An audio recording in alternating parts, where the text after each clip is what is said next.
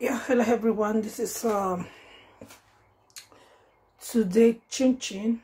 I just uh, finished uh, slicing have my slicer now to slice to the shape i really wanted it to be. So my oil is already on the fire prepared to be fried. So stay tuned. I already do all the mixing and if you want to really know how it's been mixed please check out my channel africa drama queen or Wala talk show and also my youtube channel um princess Ivie channel. So i will show you the outcome. I still have the one I have not cut yet so you can also see how it's been cut. As you can see this is the frame.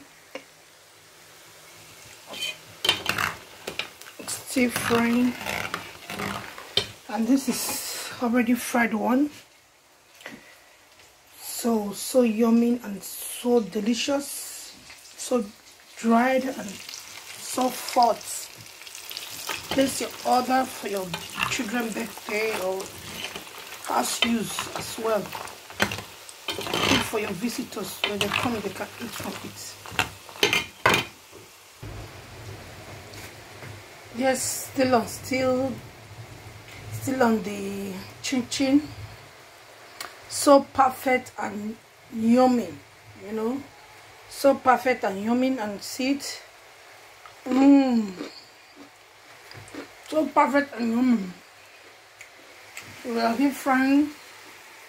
As you can see that's the frying. So perfect and yummy. Wow. Excellent bake